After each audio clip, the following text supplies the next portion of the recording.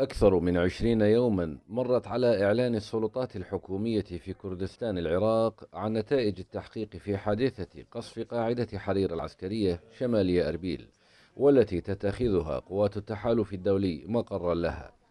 ما خلف قتيلين وتسعة جرحى بينهم عسكريون أمريكيون غير أن الحكومة في بغداد لم تعلق على ذلك ولم تتخذ أي إجراء يذكر حتى الآن. سلطات كردستان العراق أكدت تورط ميليشيا سيد الشهداء في هذا القصف وعرضت اعترافات مسجلة لأحد عناصر الميليشيا بعد تحقيق موسع شاركت فيه قوات التحالف الدولي. لكن ذلك الهجوم أعقبته هجمات صاروخية أخرى استهدفت قاعدة بلد الجوية بمحافظة صلاح الدين وقاعدة عين الأسد غربي الأنبار دون أن توضح حكومة الكاظمي الخطوات التي ستتخذها لمحاسبة منفذي هذه الهجمات والمعروفين لديها أصلا.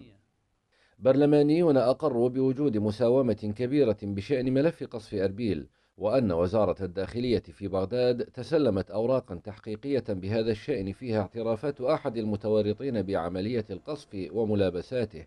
وأسماء مشاركين في الهجوم لكن الوزارة لم تحرك أي ساكن ولم تستدعي أي منهم.